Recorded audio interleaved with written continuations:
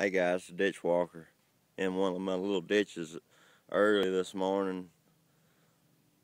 I'm sure y'all have got a piece of the recent floods that's moved across the country. Uh, just walked up on a heartbreaker. I can I can say it's a heartbreaker, but I, I figured I was going to go ahead and film this one. This is this is probably gonna be a good good lost lake that got broke up somehow, probably during use. Oh my goodness. Look at the serrations on that dude. Mm, that's a shame.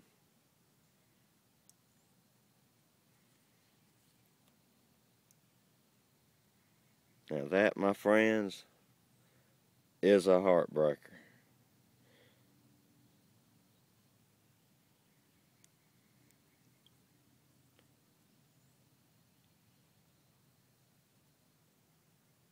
Maybe a whole one.